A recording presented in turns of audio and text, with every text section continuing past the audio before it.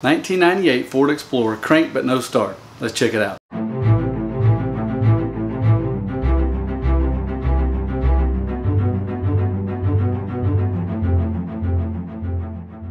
Now my last video with this exact vehicle, it was a fuel pump issue. We changed the fuel pump. I showed you how to troubleshoot it. Put a link back to that video so you can see all that. We're not gonna go through all that again. We're not gonna go through the troubleshooting, pull the fuel tank down, but this time it's doing something very similar. No fuel at the fuel rail, so I figured, well, it's a clogged fuel filter. Got a fuel filter, put it in, still nothing. Went down below the car, disconnected the fuel filter. Um, after the filter, turned the key on and back off, tons of fuel comes out. For some reason it's not going up to the engine. Man, I looked all over this thing, tried to find issues. There's, there's not a whole lot on the internet about it, so I decided to take the gas tank back down again, which is aggravating, but it's really not that hard on this vehicle. I found the problem, cheap parts. Don't do cheap parts. So here we are again, same position, as the last video that I did as far as troubleshooting fuel systems. I normally buy Motorcraft parts for all my cars, but for this, it was for uh, a neighbor down the street. She wanted it fixed cheap as she could, and so I went and got an auto parts, just a regular discount auto parts fuel pump, put in it, got it fixed. Well, now my daughter has the car, and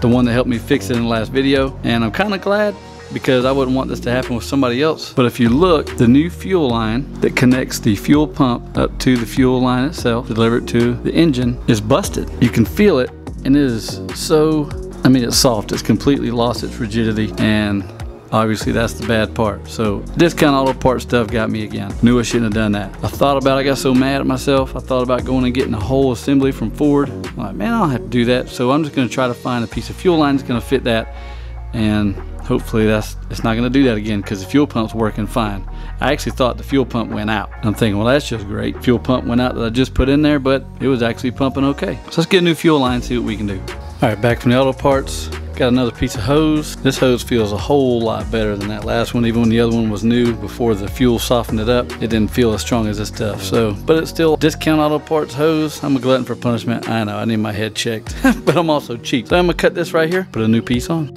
All right, so our new piece of hose is on. Fits a lot better than the old one. Feels better. Just gonna stick it in the tank, see if it cranks. See if I can get fuel at the engine.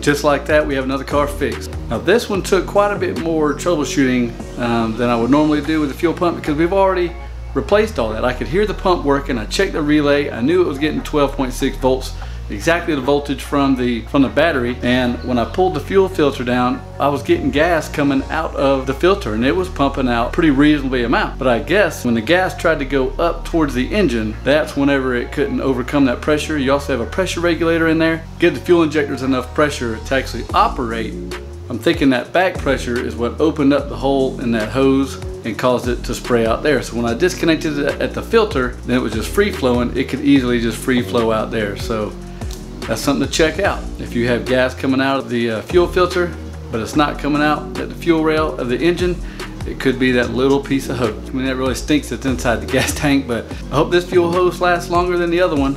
I don't know, but uh, we'll see. I got a couple other pieces. Maybe just go in there and drop the gas tank every six months. Put a new piece of hose on it. I don't know. We'll see. Put it back together. My daughter will be happy when she gets home from work. Keep your money in your pocket by doing it yourself. Y'all have a great day.